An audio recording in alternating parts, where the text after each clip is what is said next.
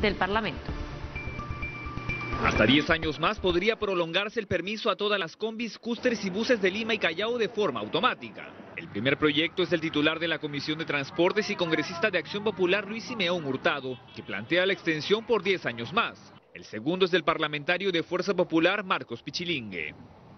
Lo que nosotros pretendemos es fortalecer al transportista que sí verdaderamente ha desarrollado, que en este momento cuenta con flota moderna, tiene patio de maniobra, tiene paraderos.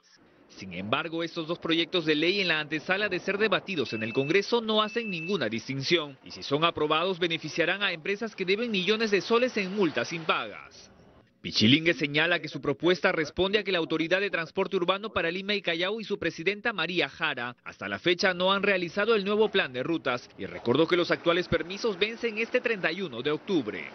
De lo que se trata es que hay que exigirle a la señora Jara que empiece a trabajar y que empiece a elaborar el plan regulador de rutas de Lima y Callao. Para eso se creó el ATU. Si la señora Jara me dice, hoy día me dice, congresista, el plan de ruta ya lo tengo listo, yo retiro mi proyecto. Por su parte, el miembro de la Comisión de Transportes y legislador del Partido Morado, Daniel Olivares, considera que no es competencia del legislativo ampliar estos permisos. Si el señor Pichilingue quiere reemplazar el trabajo de la ATU, que lo haga coordinadamente con ellos o que presione, que ese es un trabajo que tenemos los congresistas, que es fiscalizar, presionar, enviar cartas para insistir todo este tipo de cosas, pero inventarnos una cantidad de años porque a mí se me ocurre. Advierte que estas propuestas buscan incluir en la toma de decisiones de la ATU a representantes de transportistas. Olivares considera peligroso darle voz y voto a los empresarios.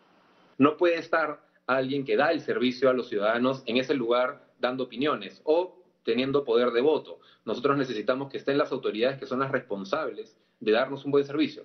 La última palabra la tiene la ATU, que deberá establecer un plazo para la presentación de un nuevo plan de rutas para los transportistas formales. Solo si esto ocurre, los parlamentarios promotores de estas iniciativas evaluarían retirar sus proyectos. Eso hay que ver, ¿no? ¿Quiénes se benefician además con esta